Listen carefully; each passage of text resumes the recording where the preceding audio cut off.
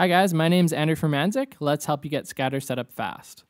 Okay, so first thing is go to get-scatter.com. Then you're going to install and launch the Scatter desktop application.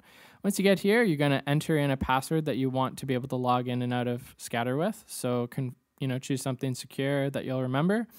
Then click New, Create New Scatter. Once you do that, you're going to be asked to back up your password. So this is a mnemonic phrase, but it doesn't actually back up any of the keys. It's just in case you forget your password. So copy and paste that into a text doc and then save it in a secure location like an encrypted USB or something like that. Then click OK. Then we're going to read the handy dandy terms and conditions and scroll down and read, read, read. Okay, we're done. Okay, click accept. Now we are going to set up a backup location for the scatter. So you select your file, and once you've done that, you're into the main scatter window.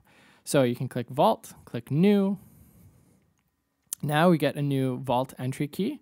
So this name right here is just for to help you remember what this is for. So to create something that's going to be easy to remember, you can either create a new key or import one.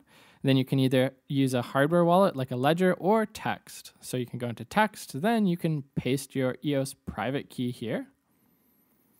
And then Scatter is going to do some checking and make sure that it's linked to an EOS account. If it's not, that's a totally different process. So um, yeah, totally different thing. Okay, so assuming it's all linked up and good to go, then you go back and we're done. Now you're all set up. So um, if you did want to do like a jungle, so we also have this here. So you go to network and you'd confirm your password. So uh, jungle is basically for developers. And so if you wanted to see the developer portal of eosDAC, you can do this. So this is why we're doing this here.